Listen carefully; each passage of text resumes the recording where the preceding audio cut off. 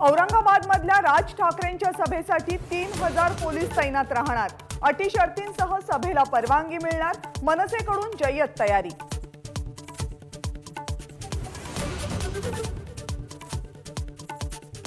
अयोध्या दौऱ्यात चार जूनला राज ठाकरे मुख्यमंत्री योगी आदित्यनाथ यांची भेट घेण्याची शक्यता तर उत्तर प्रदेशमध्ये भोंगे उतरवल्याबद्दल राज ठाकरेंकडून योगी आदित्यनाथ यांचं कौतुक.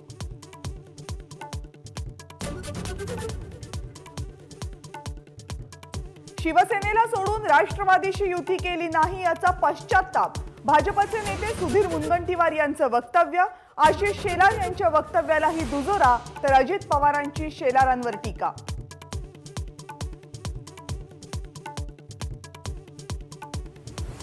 महाराष्ट्रामध्ये दंगली घडवण्याचं कारस्थान कोण रचतंय? धुळ्यामध्ये सापडलेल्या नव्वद तलवारींवरून भाजपचा सवाल गृहमंत्र्यांवर गुन्हा दाखल होणार का? शेलारांचा प्रश्न.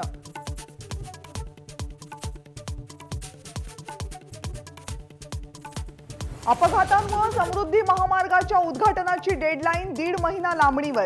बुलढाण्यात निर्माणाधीन पुलाचा भाग कोसळला मुख्यमंत्री घेणार आढावा.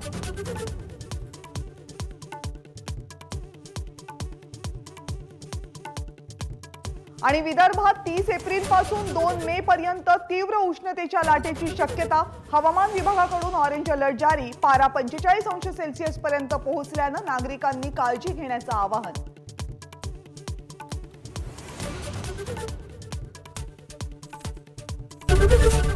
एबीपी माझा. उघडा डोळे बघा नीट.